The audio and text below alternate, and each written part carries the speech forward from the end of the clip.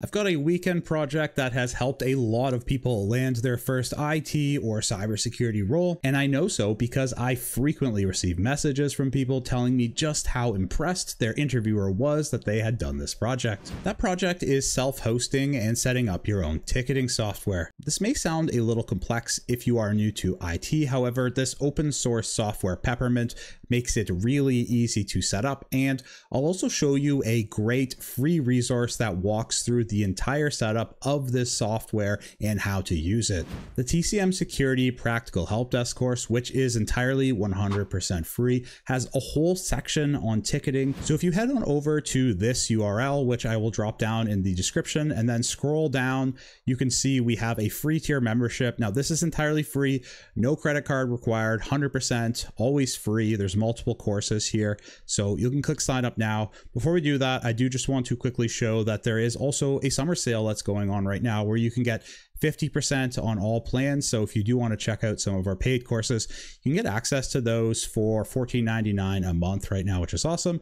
But we are here for the free tier, which if we just click sign up now, it'll take you to the bottom.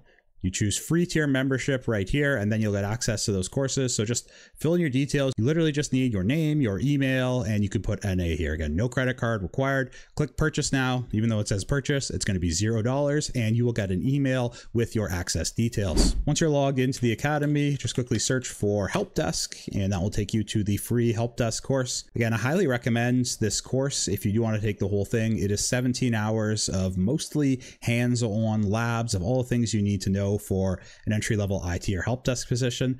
However, if you're just here for the weekend project, scroll down all the way down to section 12, where we have an entire section on ticketing itself. And we actually start with a section intro that talks about the importance of tickets and why you need to know all this stuff if you want to work in help desk or IT. And then we have a video that actually goes through how to install Docker and Peppermint and set everything up. There's then another video on configuring Peppermint, one on how to create, comment, assign, and close tickets and how to actually do effective communication in tickets. So this is definitely a project you could tackle in an afternoon on a weekend. And it is one that I know has improved impressed many interviewers in IT and cybersecurity interviews. If you go out and do this project, then definitely let me know below in the comments. And also, our summer sale is going on right now, all the way until June 30th, and you can get 50% off your first payment to the Academy, which means for one month, that is $14.99.